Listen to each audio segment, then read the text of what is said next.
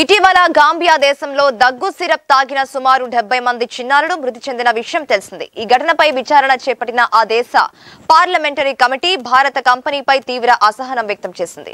దగ్గు syrup ఉత్పత్తిదారుల్ని prosecute చేయాలని ఆ కమిటీ ప్రతిపాదించింది.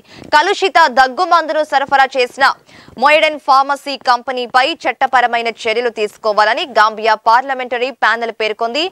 మెయిడెన్ కంపెనీ దగ్గు సిరప్ల అమ్మకాలు నిలిపివేయాలని అక్టోబర్లో ప్రపంచ ఆరోగ్య సంస్థ అలర్ట్ జారీ చేసిన విషయం తెలిసింది. కాగా తమ దగ్గు సిరప్లపై వస్తున్న వదంతుల్ని మెయిడెన్ ఫార్మసిటికల్స్ కంపెనీ ఖండించింది. అన్ని మార్గదర్శకాలకు తగ్గినట్లే సిరప్లు ఉన్నాయని ఇండియన్ ల్యాబ్స్ పేర్కొన్నాయి. సిరప్లను అవసరంగా డబ్ల్యూహెచ్ఓ నిందిస్తున్నట్లు ఓ అధికారి తెలిపారు.